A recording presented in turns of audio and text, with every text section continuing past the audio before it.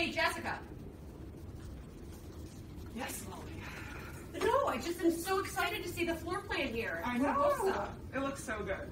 And we're gonna put this in the brochure that we're mailing next week to everyone, right? Yeah, I mean, hopefully we'll still have spots available.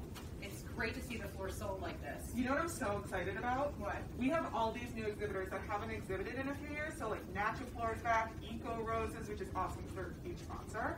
Um, Fresh Supply. Excited about this. And we've also have some that bought packages this year, which Yeah. is brand new, like Valley Springs and Syndicate. And then we've got some new doubles like Armellini up here in the front, oh which Oh my is so great to see. Speaking of which, I wonder who's going to win LTK this year. The board's been talking about it. So so it's my favorite part. they have some good ideas. So This is great. I'd be so excited to see everybody when we're at FTC in June 7th through the 9th. You're killing me, man. FDC.